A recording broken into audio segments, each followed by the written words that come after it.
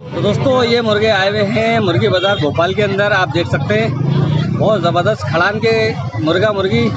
तो चैनल पे लगातार असील के मुर्गा मुर्गी आते रहेंगे तो चैनल को सब्सक्राइब करें, वीडियो को लाइक करें और पूरा वीडियो देखने के लिए चैनल को सब्सक्राइब कर सकते हैं।